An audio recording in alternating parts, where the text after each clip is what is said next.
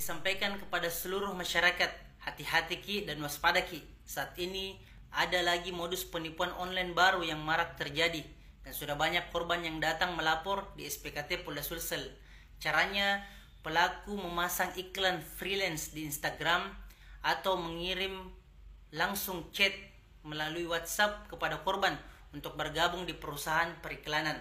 Selanjutnya, korban diarahkan untuk lanjut komunikasi dengan admin dan supervisor di Telegram.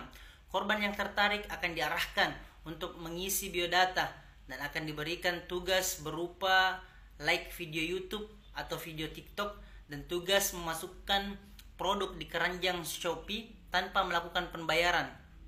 Dari pelaksanaan tugas itu, pelaku memberikan komisi kepada korban berjumlah ratusan ribu rupiah dan mentransfer langsung ke rekening korban. Setelah itu, korban disampaikan, jika ingin tugas tambahan dengan keuntungan besar, silahkan transfer uang dan komisi akan langsung diberikan kepada korban serta uang korban akan dikembalikan jika telah melaksanakan tugas. Korban pun tertarik lalu mentransfer uang secara bertahap kepada pelaku. Ada yang mentransfer belasan juta hingga puluhan juta rupiah.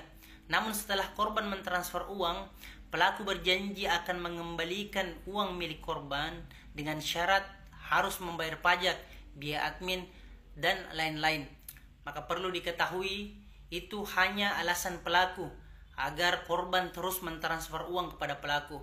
Jadi perlu saya ingatkan bahwa komisi yang diberikan kepada korban hanya di awal tugas. Jadi jangan mudah tergiur dengan komisi yang diberikan di awal tersebut. Itu hanya trik agar Anda bisa tertarik sehingga menjadi korban penipuan online. Untuk kronologis lengkapnya silahkan baca di caption. Semoga video ini bermanfaat dan silahkan di-share.